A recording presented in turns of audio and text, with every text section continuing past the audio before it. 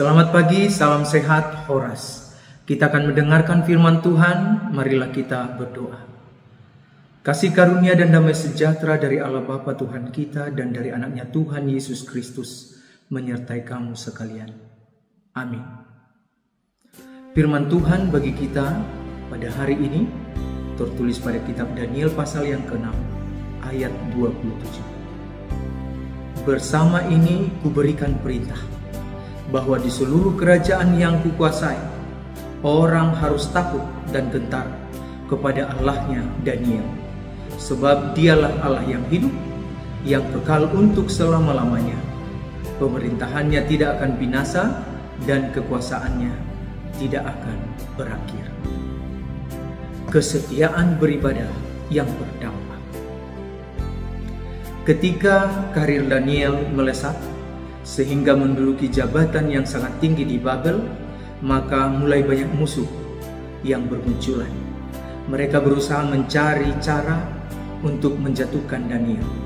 Tetapi karena Daniel adalah orang yang betul-betul takut akan Allah, maka mereka tidak mendapatkan celah sedikit pun, baik dalam pribadi maupun perbuatan Daniel. Satu-satunya cara mereka menyerang kedekatan hubungan Daniel dengan Tuhan.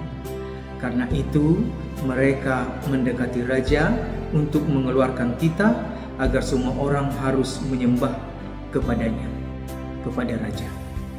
Jika ada orang yang tidak mau menyembah, maka akan dimasukkan ke dalam gua singa. Daniel tetap beribadah kepada Allah. Bahkan ketika beredar surat perintah larangan beribadah kepada Allah. Menariknya, perintah ini hanya berlaku selama 30 hari. Artinya, Daniel bisa saja menghindari hukuman dengan cara kompromi, yaitu tidak beribadah selama masa larangan berlaku. Namun, Daniel tetap menunjukkan konsistensi rohani tanpa kompromi. Akibatnya, dia dimasukkan ke dalam gua singa. Walaupun demikian, keteguhan iman Daniel membawanya merasakan pertolongan Allah. Allah memberikan pernyataan yang luar biasa. Daniel bisa keluar dari gua singa tanpa kekurangan apa pun. Melalui peristiwa itu, memberikan kesaksian bagi banyak orang tentang kuasa Allah yang ajaib. Bukan hanya kepada Darius, sang raja, namun juga kepada semua orang di wilayah kekuasaan sang raja. Kesetiaan Daniel beribadah kepada Allah membuat banyak orang mengenal Allah. Raja Darius membuat pernyataan resmi yang mengakui keagungan Allah. Dia memerintahkan bahwa semua orang di kerajaannya harus takut dan gentar kepada Allah Daniel karena dia adalah Allah yang hidup dan kekal. Peristiwa Daniel ini membawa pengakuan terhadap kesaksian hidup kita yang dipenuhi dengan mujizat Allah dapat membawa orang lain untuk mengenal dan mengakuinya. Tidak jarang anak-anak Tuhan akhirnya meninggalkan kesetiaan mereka kepada Allah karena berbagai tekanan. Hanya setia tak kalah tiada penderitaan. Namun ketika diperhadapkan pada penderitaan, kesusahan, kesetiaan pun pupus. Seorang anak Tuhan dipanggil untuk siap menderita demi kesetiaannya kepada Allah. Jangan pernah merasa rugi dalam mengikut Tuhan walaupun banyak tekanan. Hidup adalah kesempatan untuk memuliakan Tuhan. Kesetiaan kepada Tuhan merupakan harga mati bagi seorang yang menyembah Tuhan. Biarlah melalui kesetiaanmu beribadah membuat orang semakin mengenal kasih Allah dan menjadi percaya kepadanya. Amin. Kita berdoa.